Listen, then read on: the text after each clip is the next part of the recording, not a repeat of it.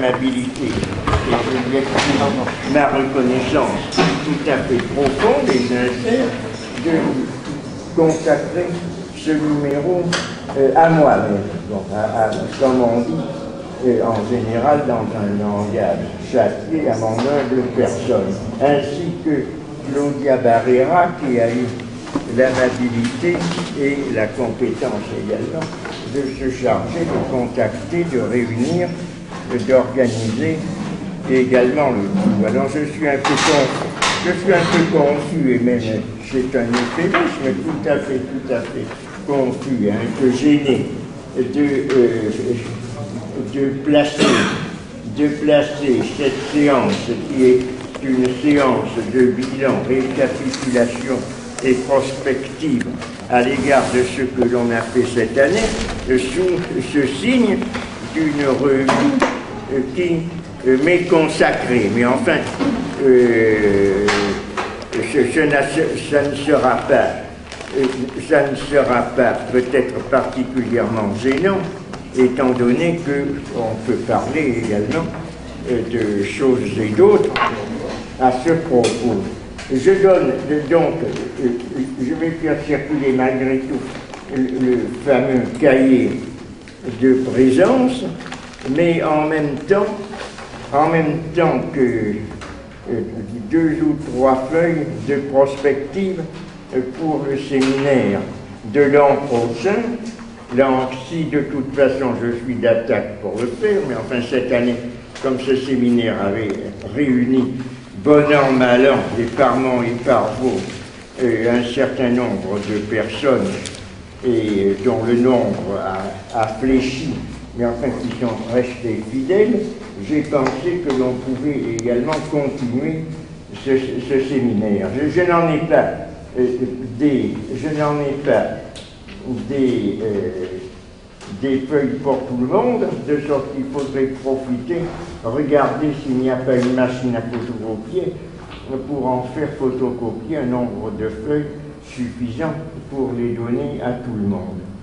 Donc je, fais circuler et pendant ce temps-là, euh, je donne la parole à ceux qui veulent la prendre, à, Claudia et à Bruno qui se trouvent euh, euh, là en face. Donc, euh, c'est une table ronde, donc il n'y a pas de préséance, et je cède la parole tout de suite. Bon, alors je,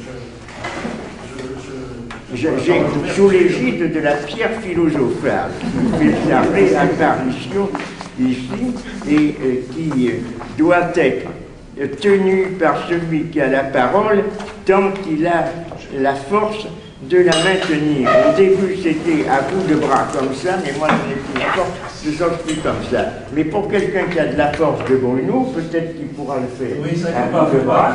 Et, si, euh, si, je parle quand je peux tenir la pierre, ça, ça vous allez le fatiguer. Oh ne, ne, ne vends pas la peau de l'ours, tu vas voir. comme ça. Je voulais, je voulais remercier tous ceux qui ont participé à ce bureau. Je voulais remercier euh, Claudia, qui a fait un travail formidable. Euh, c'est la revue du département. Nous sortons normalement deux numéros par an. Là, le numéro a eu six mois ou neuf mois de retard. Euh, on en est au dixième numéro. Donc, je sais reconnaître l'efficacité d'une coordinatrice. C'est très difficile. Euh, et donc vraiment, vous pouvez, nous pouvons la remercier, nous les lecteurs, le département et vous qui avez collaboré, elle a fait un travail absolument formidable. Euh, le, département tenait à, ce qu'il y ait... Euh, c'est la revue du département, donc c'était impossible qu'on ne fasse pas un, dossier sur René. On est beaucoup, voilà, c'est fait. Le, département Herman nous a toujours demandé que le département s'investisse et Patrice Vermorel, qui est le, directeur du département a que nous fassions, alors je vous donne la date, hein, j'abrège les discussions, c'est le 19 octobre, le département fera une journée, alors ça, une journée de colloque, une journée d'études, euh, un certain nombre de professeurs, dont Patrice Vermorel, dont Jacques Poulain, dont Alain Bossa, peut-être Antonia Soulet si elle peut être là, peut-être euh, Jean-Pierre Marcos et quelques autres, je, ne m'avance pas trop sur ceux qui sont en suspens.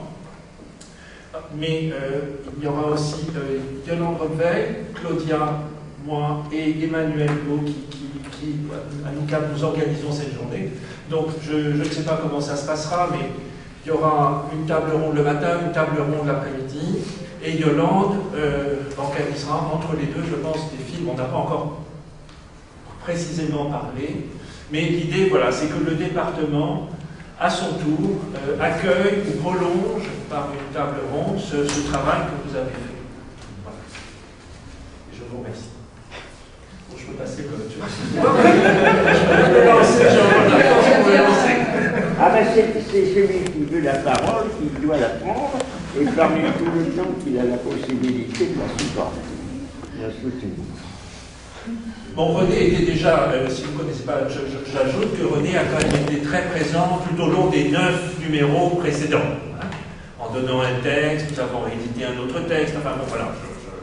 Et il était temps que cette collaboration continue. Surtout à propos de François Paquet, on a, commémoré, mais de toute façon, il reste présent à l'arrière-fond, puisque c'est lui qui a été à l'origine du département, de sa tenue, de son organisation, du maintien de cet esprit qui le caractérise, donc c'est ça. Donc, euh, c'est moi qui félicite euh, le département de philo en euh, accordant la possibilité qu'une pensée assez inconnue dans la fac et ailleurs soit vivante parmi la revue, parmi nous maintenant, avec ce numéro 10, que je pense voilà, marque un début de quelque chose parce que c'est la fin de, la dizaine. Donc voilà, on verra bien qu'est-ce qui se passe après euh, le 10. Mais euh, c'est vrai que euh, moi, j'ai coordonné très facilement ce numéro parce que c'était pas, j'ai pas eu besoin de, trouver des collaborateurs. C'est simplement les amis de René Scherer qui, ont voulu travailler et qui, je pense, s'intéressent à une pensée qui tient à une certaine tradition je pense qu'il faut euh, justement profiter que la voix de René Scherer soit ici présente, qu'il soit vraiment, euh, disons, dans la, tradition Vincent Saint-Denis. Euh, nous, des personnes qui nous avons greffé à cet esprit, parce que c'est un esprit universel, un esprit qui vraiment touche les sociétés, les sociétés d'ailleurs, les, les minorités, les singularités, tout ça, euh, ça nous concerne, je pense, dans ce moment où euh, l'académie se replie de plus en plus et la philosophie n'a pas de voix. On ne la sent pas dans le monde euh, politique, on ne la sent pas. toi, toi, tu pourras dire, Christian, qu'est-ce que tu en penses de mes mots?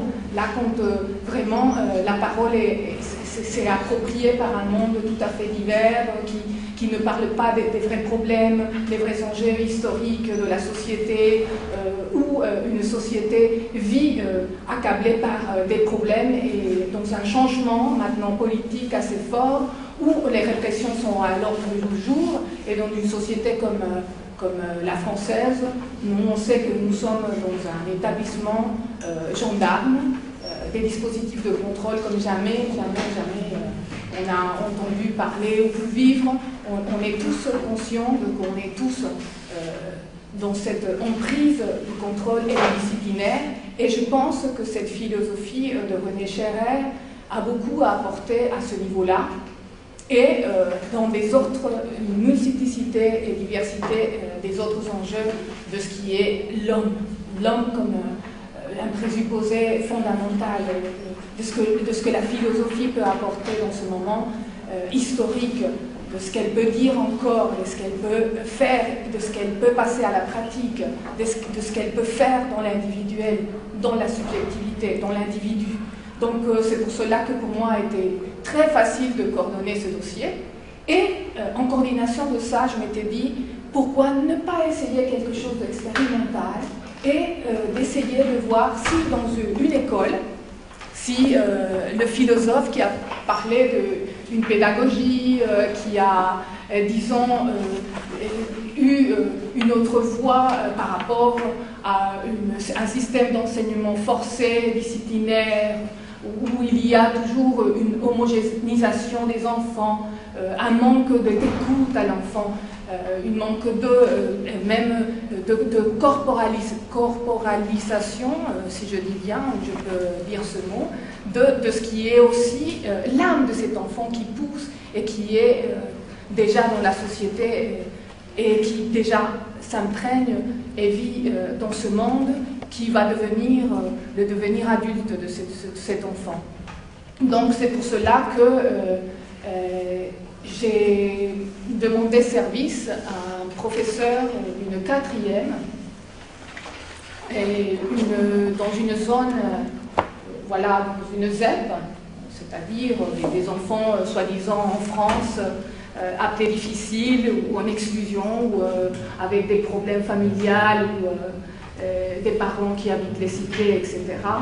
Donc il nous a accueillis. Il nous a accueillis et c'est là où on a pu voir que vraiment René Scherer a pu séduire les enfants en leur parlant de la philo. Et donc je pense que c'est une pièce aussi fondamentale pour compléter euh, cette diversité d'articles. Chaque article, ce que je célèbre dans, cette revue, c'est que chaque article, il, est, il, est, complètement différent à l'autre. Euh, chacun des auteurs a fait euh, son propre style, ça se voit que tout le monde est concerné par soi-même, par sa création, par ce qu'il veut dire, parce qu'il a, disons, choisi à un moment donné de, ce qui est la philosophie de, de ce penseur de ce penseur qui, euh, je pense, c'est euh, un homme qui euh, nous relie à une tradition assez importante et qu'on a la chance de la. Voilà. Voilà pour moi, pour l'instant. Merci, merci. moi, je ne préside pas. Non, c'est pas à moi de donner la parole. oui. Alors, euh, euh, Romain, Romain euh, Sarnel, qui est un ancien étudiant de docteur d'ici, veut bien peut-être prendre la parole, avec, avec la pierre. Et toi, tu es assez costaud. tu pourrais mettre ta bouche devant. Mais je ne sais pas moi qui vais donner la parole. Bruno, alors, je préside quand même, parce que ça sera mieux, puisque, puisque c'est toi qui, qui es le rédacteur en chef de la revue, donc donne, donne plutôt la parole à ceux qui veulent la prendre. Ça me gênerait de donner la parole. Je veux bien, dire quelques mots. Euh, j'ai reçu la revue lundi, et comme je travaille dans une école d'art, j'ai été très sensible euh, aux aquarelles de René euh, j'ai trouvé ça tout à fait intéressant d'intercaler les textes et les aquarelles. Et voir ensuite, peut-être dans une perspective de philosophe artiste, que finalement René avait une double pratique, une pratique philosophique que l'on connaît, et une pratique plus secrète, une pratique artistique au gré de ses voyages. Et donc j'ai trouvé ça tout à fait euh, séduisant. Je ne sais pas qui c'est qui a eu l'idée de, cet euh, entremêlement des, aquarelles et des textes. Pense. Euh, c'est moi qui, voulais montrer ça parce que je trouve que, le philosophe artiste, justement, est vital. Et qu'il il, fallait que les gens connaissent que René Scherer, et c'est pour cela que Yolande ça serait génial que tu puisses euh, montrer ce travail le jour de, la journée Gérer, parce que finalement, on voit qu'il y a toute euh, une coordination euh, de, l'image.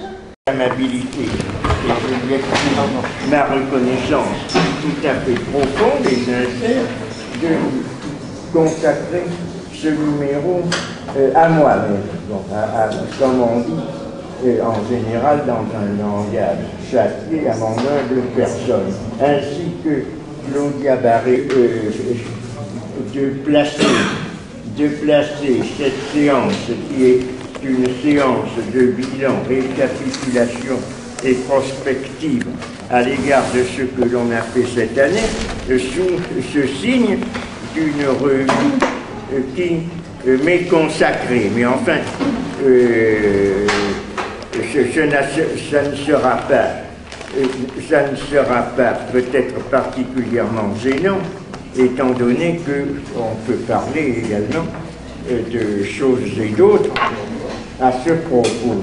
Je donne donc, je vais faire circuler malgré tout le fameux cahier de présence, mais en même temps, en même temps que deux ou trois feuilles de prospective pour le séminaire de l'an prochain.